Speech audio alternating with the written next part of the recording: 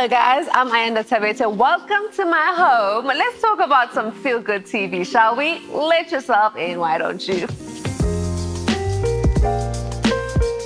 Little piece of heaven for me. It is right in the middle of the city, believe it or not, but it's like a little farmhouse where I can just enjoy my family and my loved ones. As you can see, I'm in my robe. That's part of feeling good for me, and that's because I spend most of my time at home. I'm a new mom of two babies, two under twos. And so getting into fancy clothes is really not what I'm about at the moment. I absolutely love reality TV. It really gets you into the psyche of people, especially when the cameras are off, because we get to know what their lives are like, right?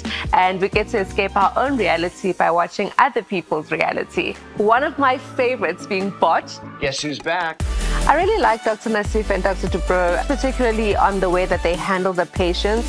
I think some of the stories are seriously sensitive. Some people have been living with these insecurities for so long.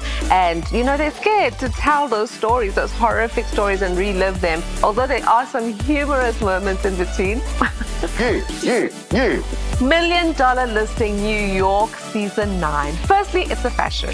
Before we go to the properties, I mean the fashion. A moment for the fashion. I love the properties. These homes are something to die for. I think this show really shows the reality of New York being cutthroat. I am unstoppable. But also shows how beautiful the property is there, not to mention those prices. Super expensive.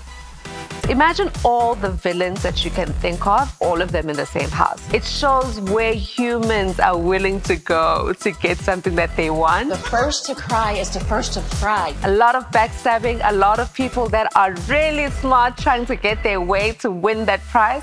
And if you like like that backstabbing, then this is the show for you black culture, it starts a trend and everybody else thinks it's cool. What part of life can you think of on a global scale that black pop hasn't really affected? And I think it's such a special time to be speaking about black culture and uh, how it affects us and what it inspires us to do. We are in the era of feel good to be black, okay? So I'm looking forward to this one.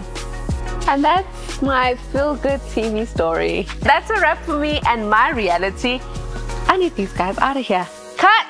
Come on, guys, that's a wrap. Let's get out of here.